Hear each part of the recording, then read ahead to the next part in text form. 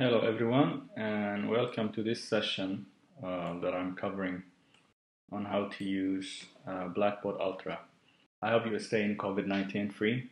I have written the steps and uh, I'll try to follow those steps uh, and I'll be giving it to you um, as you go uh, in creating this. These are basically the steps that I've created that you will follow.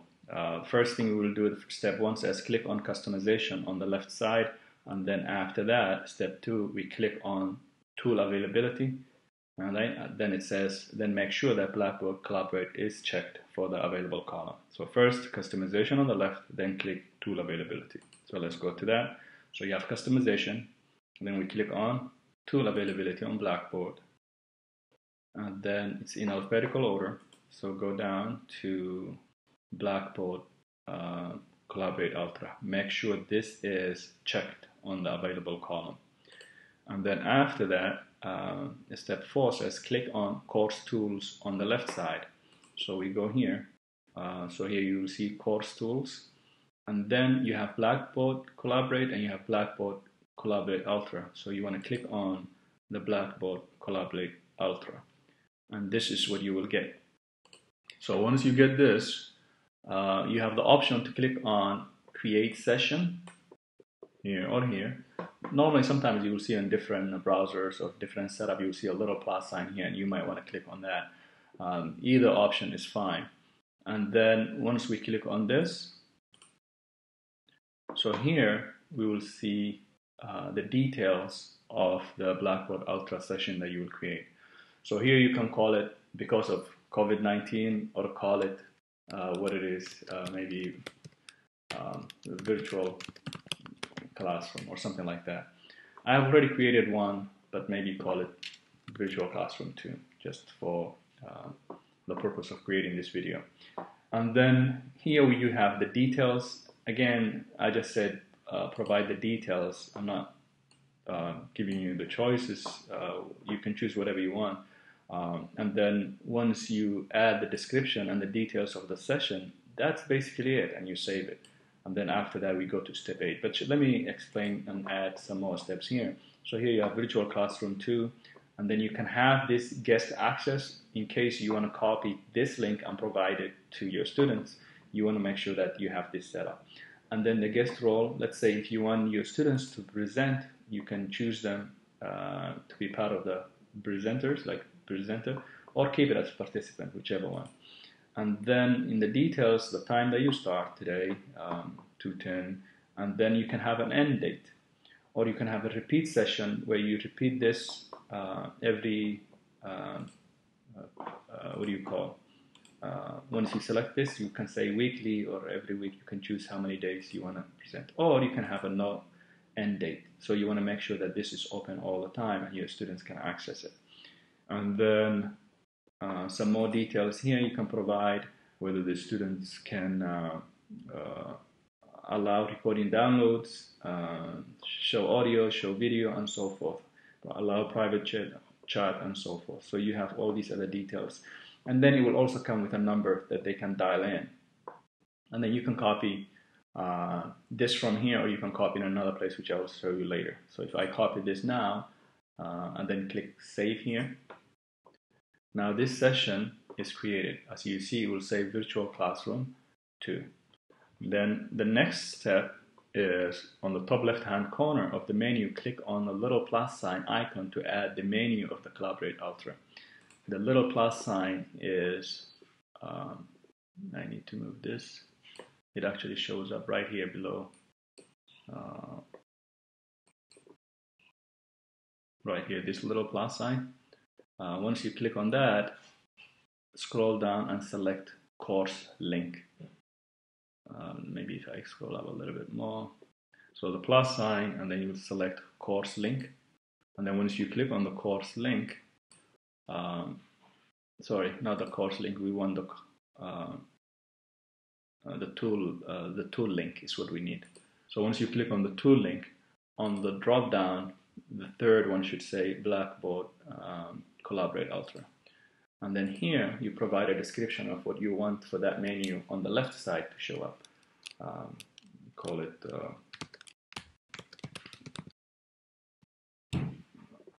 virtual. I'll just call it virtual for now um, so that um, I have virtual caution already. All right, so submit and that should show up here. Now once this shows up, um, you want to click on this little drop down right here and then click on show link. Okay, maybe that's one step that I might want to add here. After you add the description on the top left hand corner, I'm saying to add that, um, or maybe um, select the link that was just created and choose show link as an extra step. And then after that it says click on tool link and blackboard collaborate ultra for the type. That was basically the drop down maybe this should be the next step uh, after that. All right let me move this up so that we have it like that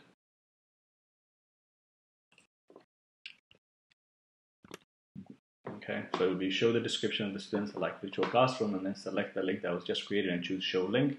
And then after that will be to copy the link. We copied already, but um, you have the choice. So if I click on this one right here, okay, here we have the virtual classroom 2 that we created.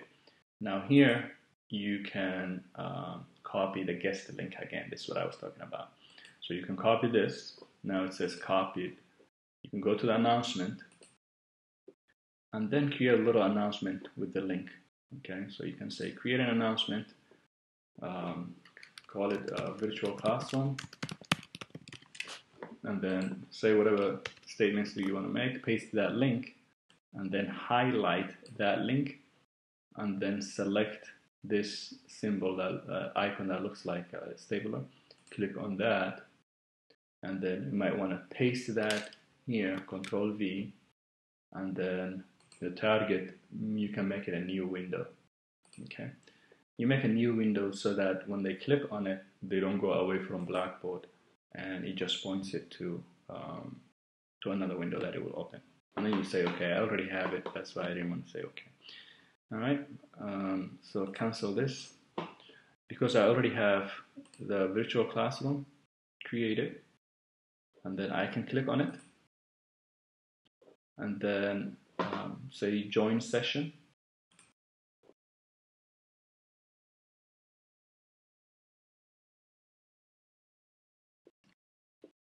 So this will load and this is basically where you will be um, providing your instruction out to your students. I will keep it all the time in case um, uh, if something like this pops up for you to allow the microphone, just say okay something like that. Uh, so this is how it would show up, right?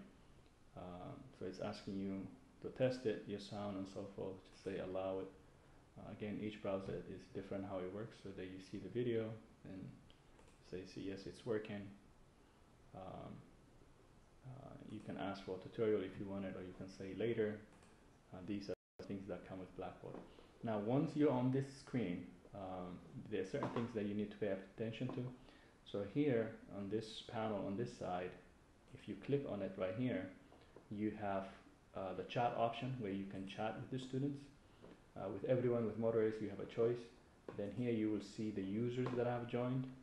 Okay, let me move this to the left, up to the center. So here you will see when you click on this one, you will see the users that are in there. And then on this one, um, here is the share content. What do you want to share with the students? You want to share with a black, uh, share a black um, whiteboard? You want to share with an application like the browsers that you're in? Or you want to send them files? So here you choose. You can even uh, send them a poll of how they feel about the session that you're providing. And then here you can change uh, the setting with your picture, your profile, if you want to upload a picture and so forth. And then on this side here, you can click on this one. Um, so this is how you feel session that's going on. You can say, I'm happy, so this will show up next to your name. If you go to uh, the attendees option, you will see that will show up there. And you can ask the students on how they feel about each session. If question, they can click on that and so forth. Then on the left side here, you can click on start recording so that you record that session that you have for that students and later on upload it for them. Um, and, and that's basically it. Or you can then after that you can click on this and then say leave session. So what I will do is um, basically upload these uh, steps that I have created for you, uh, uh, add it to the video, and then if you have any question, um, uh, you can uh, you can send it to me. Maybe we should add step 13, and then say maybe vote or volunteer for Dr. Muhammad Ali. That's the website. Uh, thank you for those of you that already volunteered and that already that have already donated uh, to the campaign. As you all know, that I'm running for school board uh, in our district, uh, District 4. Uh, everything had been delayed, and as you know, the uh, the election, the primary, instead of April 28th, right now it's on June June 2nd. All right. Thank you very much, and that would be the end of the the session. I hope you benefited from this. Thank you.